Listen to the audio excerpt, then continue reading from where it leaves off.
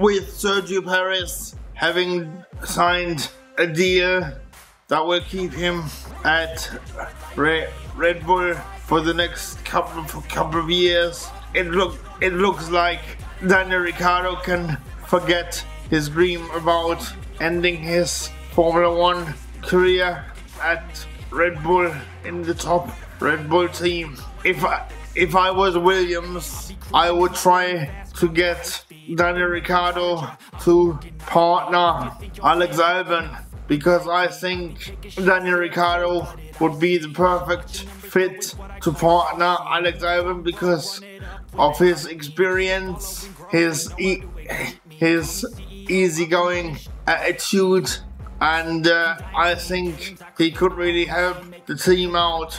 But uh, it depends whether Ricciardo wants to do that. But um, I think that would be the only place where I can see I can see him, and I think Williams would really value Daniel Ricciardo. Anyway, this is just what I'm thinking. What do you guys think? Let me know in the comment section below. Cheers for watching. I'll see you soon for another video. Bye guys.